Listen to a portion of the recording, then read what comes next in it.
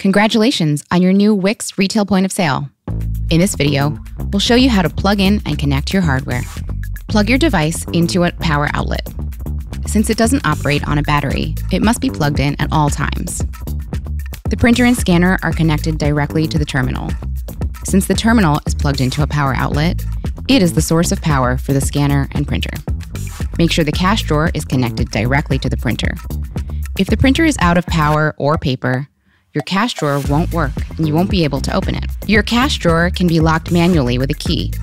If the drawer is locked, it won't be able to open automatically. Now that everything is connected, it's time to turn on the terminal.